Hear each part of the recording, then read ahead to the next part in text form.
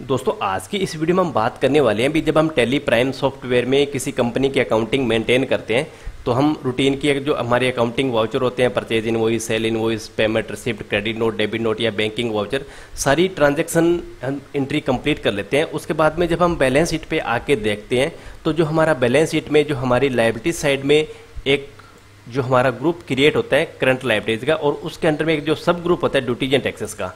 अब जो duties and taxes का जो ग्रुप होता है, उसके सामने आपको ये जो अमाउंट है, अक्सर आपने देखा होगा, ये माइनस के निशान के साथ शो होती है। तो दोस्तों, आज की इस वीडियो में हम ये सारी बातें प्रैक्टिकली डिस्कस करने वाले हैं। भी ये जो ड्यूटीज़ एंड टैक्सेस की अमाउंट माइनस के साथ अगर शो करती है तो इसका मतलब क्या होता है? और ये कुछ ज़रूरी भी नहीं है, भी सभी कंपनियों में ये जो बैलेंस है, वो माइनस के निशान के साथ शो ये प्लस में भी हो सकता है तो प्लस में होता है तो उसका मतलब क्या होता है? माइनस में है तो उसका मतलब क्या होता है? अगर माइनस में आ रहा है तो उसको हम प्लस में, यानी कि माइनस को, निशान को किस तरीके से हटाएँगे? इसको प्लस में किस तरीके से कन्वर्ट करेंगे?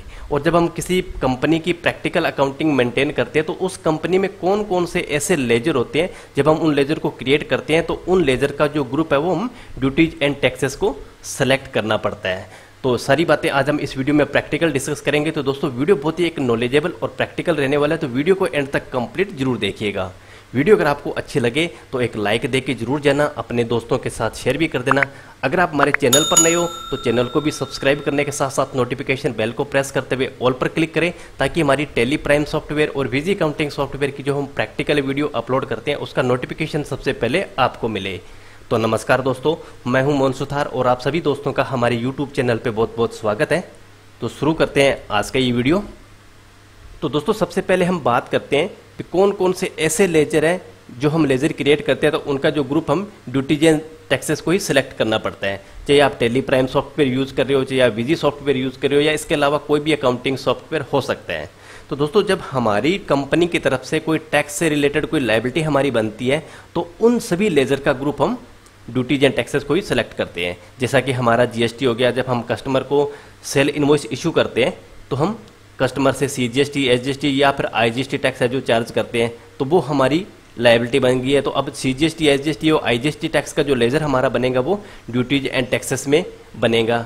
उसके अलावा अगर हम हमारे कस्टमर से हम कोई टी सी एस चार्ज करते हैं तो वो हमारी कंपनी की लाइबिलिटी है, उसको भी हम ड्यूटीज़ एंड टैक्सेस में सेलेक्ट करेंगे। या फिर हम कोई सेक्शन के तहत, जैसे 194 क्यू सेक्शन के तहत हम हमारे बायर्स का अगर टीडीएस हम डिडक्ट कर रहे हैं तो वो हमारी लाइबिलिटी हमारी बनी हुई है तो उसका भी ग्रुप हम ड्यूटीज़ एंड टैक्सेस को सिलेक्ट करते हैं। तो हम सबसे पहले बैलेंस शीट पर चलते हैं। तो बैलेंस शीट में अभी आप देख रहे हो, ये जो ड्यूटीज़ एंड टैक्सेस की अमाउंट आपको माइनस के साथ शो कर रही है, एक लाख उन्नीस हज़ार दो सौ छः रुपये और सत्तर पैसे का। तो अब इसका मतलब क्या हुआ? अब इसका मतलब ये हो गया, भी हमारा ड्यूटीज़ एंड टैक्सेस यानी कि गवर्नमेंट से जो टैक्स से रिलेटेड है, वो हमने इतने रुपए का टैक्स एडवांस हमने पे कर रखा है। अब कितना कर रखा है? इसमें सी जी एस टी कितना है? एस जी एस टी कितना है? आई जी एस टी कितना है? और इसमें आपकी लाइबिलिटी भी हो सकती है। वो कितना है? वो अब आपको यहाँ पर शो नहीं होगा। तो इसके लिए हम इस ड्यूटीज़ एंड टैक्सेस पे आके इंटर प्रेस हम करेंगे। अब इंटर हम प्रेस करेंगे तो अभी आप देख रहे हो यहाँ पर आपको चार लेजर शो हो रहे हैं। सी जी टैक्स है एस जी टैक्स है T C S on sale है T D S payable on purchase one nine four Q है। तो अब इसका मतलब लेकिन आप देख रहे हो यहाँ पे दो जो लेजर है वो डेबिट साइड में आपको शो कर रहे हैं और दो लेजर ये आपको यहाँ पर क्रेडिट साइड में शो हो रहे हैं। तो अब इनका सबसे पहले जो मीन्स है, इनका हमें समझना ज़रूरी है। तो अब जो डेबिट साइड में जो इनका बैलेंस आ रहा है तो अभी यहाँ पर आप देख रहे हो, इसका जो डेबिट साइड का टोटल जो बैलेंस है वो एक लाख उन्नीस हज़ार नौ सौ इकहत्तर रुपये और अस्सी पैसे है और क्रेडिट साइड का जो टोटल आ रहा है सात सौ पैंसठ रुपये और दस पैसे। अगर हम सिंपल भाषा में बात करें तो अब एक लाख उन्नीस हज़ार नौ सौ इकहत्तर रुपये की ये जो अमाउंट है, ये हमने टैक्स के रूप में गवर्नमेंट को एक्सेस पे कर दिए हैं। और सात सौ पैंसठ रुपये दस पैसे की जो अमाउंट हमें शो हो रही है, अब ये हमारे टैक्स की लाइबिलिटी बनी हुई है, हमें गवर्नमेंट को अभी डिपॉजिट करवाने वाला बकाया पड़ा है हमारा। तो अब वहाँ पे आपको जो मेन स्क्रीन पर हमें जो बैलेंस शीट में जो बैलेंस शो कर रहा था, वो एक लाख उन्नीस हज़ार नौ सौ इकहत्तर पॉइंट अस्सी में से सात सौ पैंसठ रुपये दस पैसे माइनस होने के बाद में जो अमाउंट बच रही थी, वो हमें वहाँ पर शो हो रही थी। भी वहाँ पर हमारा जो नेट लाइबिलिटी हमारी बनती है या नेट एक्सेस हमने जो गवर्नमेंट को डिपॉजिट करवा रखा है, उसी का बैलेंस शो करता है। लेकिन इसकी असलियत जब हम इस पर इंटर प्रेस करके इंटर अगर हम अंदर आते हैं, तब हमें पता चलता है भी कितना हमारा एक्सेस है और कौन कौन सी लाइबिलिटी हमारी इसमें से माइनस हो रही है। तो दोस्तों, अब सी टैक्स अब सी टैक्स पर हम इंटरप्रेस करेंगे। तो अब यहाँ पर आप देख रहे हो, आपको कुछ अमाउंट डेबिट में भी शो हो रही है, कुछ क्रेडिट में भी है। अब ये जो डेबिट साइड की अमाउंट आपको जो शो हो रही है ना, इसका मतलब ये हो गया भी ये आपका सीजीएसटी टैक्स आप देख रहे हो तो आपने जब गुड्स को परचेज किया तो चौंसठ हज़ार पैंतीस रुपये और नब्बे पैसे टैक्स आपने परचेज करते वक्त गवर्नमेंट को सीजीएसटी के रूप में पे कर दिया। और ये क्रेडिट साइड में चार हज़ार पचास रुपए की अमाउंट जो आपको शो हो रही है, इसका मतलब ये हो गया भी अब आपने अपने कस्टमर को जब सेल इनवॉइस इशू किया हुआ है तो उसके ऊपर आपने चार हज़ार पचास रुपये टैक्स है जो अपने कस्टमर से चार्ज कर लिया। अब इसका मतलब चौंसठ हज़ार पैंतीस रुपये आपने ऑलरेडी पे कर दिया, चार हज़ार पचास रुपये अभी आपको गवर्नमेंट को पे करना है। तो इसका मतलब अभी भी आपको जो सी का जो पैसा है, वो गवर्नमेंट के पास एक्सेस जा रहा है, उनसठ हज़ार नौ सौ पिचासी रुपये और नब्बे पैसे। तो ये आपका सी का बैलेंस है तो इतना ही आपका एस टैक्स का बैलेंस बनेगा। यानी कि इतना आपका एक्सेस बैलेंस है। तो अगर हम दोनों की कैलकुलेशन करें तो दोनों की अमाउंट हमारे पास आ रही है एक लाख उन्नीस हज़ार नौ सौ इकहत्तर रुपये और अस्सी पैसे।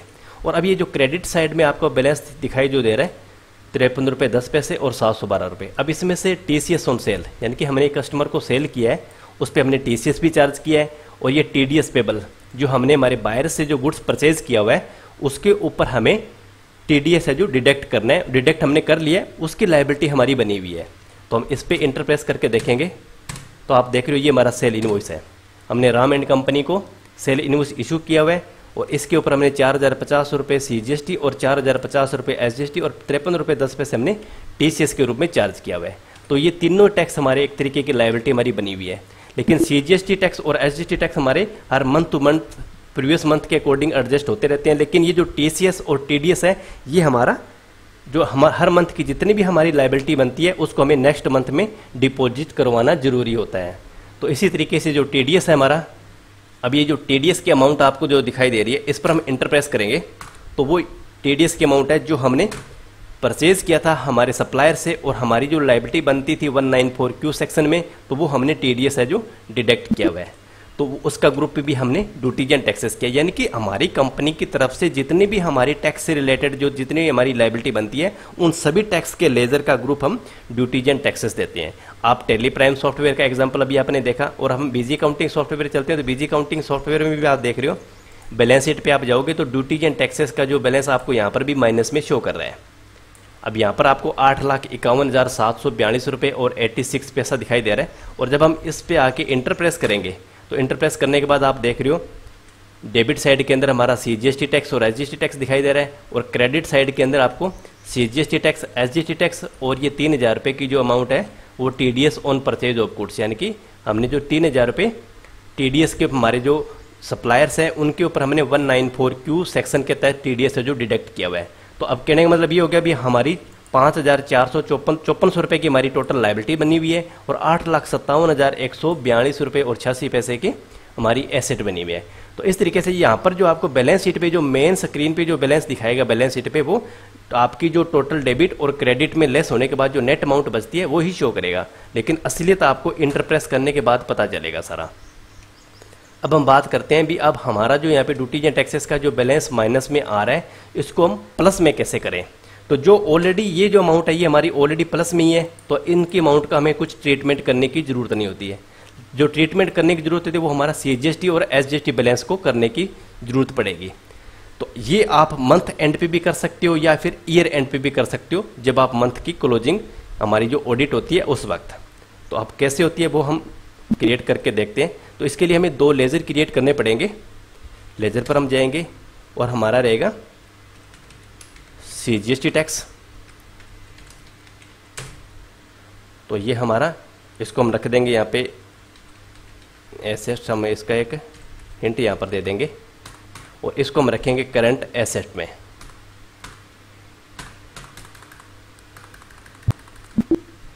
और इसी तरीके से ये हमारा पास एक लेज़र और बन जाएगा एस जी टैक्स का, ये भी करंट एसेट में। तो दो लेज़र हमारे क्रिएट हो गए। अब हमें जो हमारे बैलेंस शीट में जो लेज़र आ रहे हैं C G S T tax और एस जी टैक्स अब इनकी अमाउंट को हमें रिवर्स करना पड़ेगा। अब हम अमाउंट इसको एक बार नोट कर लेते हैं, जैसे उनसठ हज़ार नौ सौ पिचासी रुपये और नब्बे पैसे की है। तो इसकी जर्नल एंट्री अब हमें करनी पड़ेगी, जैसे कि हम इकतीस जुलाई को एंट्री कर देते हैं जर्नल एंट्री हम कर देते हैं। जो डेबिट हमें किसको करना है, जो अभी हमने लेजर बनाए थे C G S T tax current asset का, इसको हम डेबिट करेंगे उनसठ हज़ार नौ सौ पिचासी रुपये और नब्बे पैसे से। और इस तरीके से हम वापस डेबिट कर देंगे एक एस जी टैक्स के लेज़र को। उनसठ हज़ार नौ सौ पिचासी रुपये और नब्बे पैसे से। और क्रेडिट हम कर देंगे वापस C G S T tax को। उनसठ हज़ार नौ सौ पिचासी रुपये नब्बे पैसे को। और एस जी टी टैक्स जो हमारे सेल पर हमने चार्ज किए थे। इंटर प्रेस करेंगे। अब हम वापस वापस जाते हैं बैलेंस शीट पर तो बैलेंस शीट पर आप जाने के बाद आप देख रहे हो, अब हमारा जो ड्यूटीज़ एंड टैक्सेस का जो बैलेंस है। अब वो सात सौ पैंसठ रुपये और दस पैसे प्लस में आ गया, यानी कि माइनस का निशान हट गया। अब इस पर इंटरप्रेस करके देखेंगे तो आप देख रहे हो वो दोनों जो टैक्स की लाइबिलिटी हमारी बनी हुई है, जो एक्चुअल में प्लस में होनी चाहिए थी, वही आपको अभी शो करेगी। अब ये जो माइनस की जो अमाउंट थी, वो अब हमारी इस एसेट साइड में आ चुकी है। यानी कि सी जी टैक्स हमने इतना एक्सेस हमारा चल रहा है, और ये एसजीएसटी टैक्स का इतना अमाउंट हमारा एक्सेस चल रहा है। तो ये वाइड फेल्ट ऑटोमेटिक ये ड्यूटीज़ एंड टैक्सेस में ही प्लस माइनस होता रहता है। लेकिन अगर आपको माइनस में से यहाँ से उठाना है एसेस साइड में लेके आना है तो आपको इसी तरीके की रिवर्स एंट्रियाँ करनी पड़ेगी।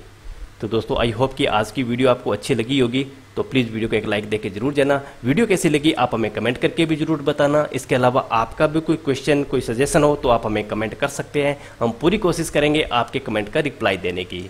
तो दोस्तों, मिलते हैं नेक्स्ट वीडियो में एक और नए टॉपिक के साथ।